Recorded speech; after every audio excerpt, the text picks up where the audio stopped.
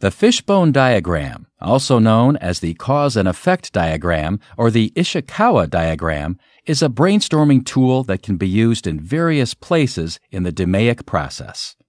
In the measure phase, it is primarily used to determine the X data to collect.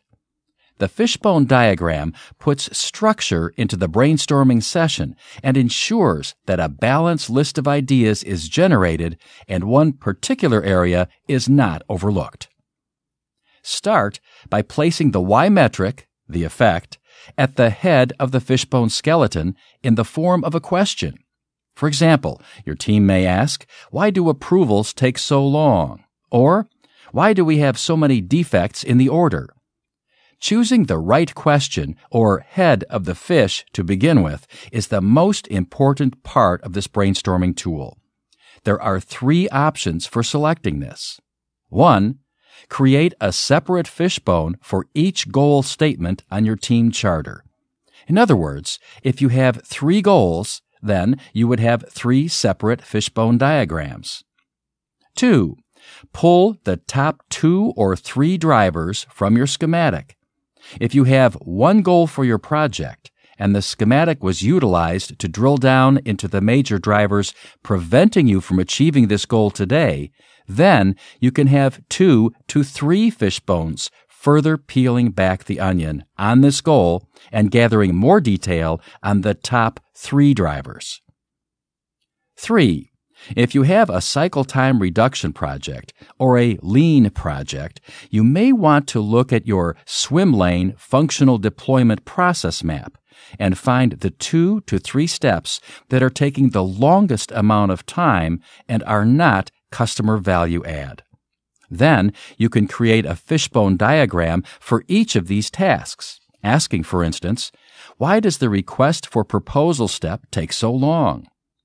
Once you have your questions for the head of the fishbone determined, the next step is to assign the major categories or causes of the effect that will make up the bones of the fish skeleton. Now, traditionally, the major categories are people, material, machines, methods, and environment. Last, brainstorm the potential X data to collect. Typically, teams list 20 to 50 items total, but some teams have even listed up to 100 items. As you facilitate this fishbone brainstorming session in your team meeting, it is a great opportunity to invite others beyond your core team members to the meeting. If your core team is 5 to 7 people, you could invite 10 to 15 additional people to this brainstorming session. Remember, the goal of any brainstorming session is quantity of ideas and not to evaluate the ideas. The more people you have in attendance at the meeting, the better chances you will have at generating a surplus of ideas. As we've discussed, you are encouraged to have more than one fishbone for your measure phase. To facilitate the brainstorming of multiple fishbone diagrams, we suggest posting the fishbone diagrams on flip charts or whiteboards in separate areas of the room prior to the attendees arriving.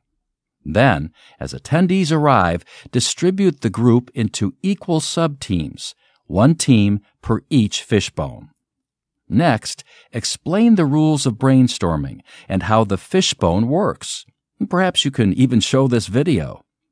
Then give 10 to 15 minutes for the groups to brainstorm on each fishbone before you call time and have them rotate to the new fishbone. As they approach the new fishbone, they should be able to build upon some of the existing ideas, possibly utilizing the five whys, and add new ideas to the fishbone. Continue to rotate the groups until all groups have brainstormed on all fishbone diagrams. Some common problems to look out for. 1. Brainstorming solutions. At this point in your project, you are looking to use the fishbone diagram to brainstorm drivers or X factors on which you can collect data to determine the major root causes of your problems. 2.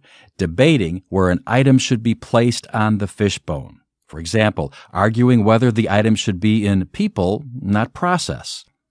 To solve this, put the item in both spots and move on. You will evaluate later. 3. Unpopulated bones on the diagram. The teams need to try and focus in on these areas to get a more complete look at all possible drivers to the problem. Finally, at the end of your meeting, be sure to recap the fishbones with each group to ensure that all understand the X factors that were brainstormed.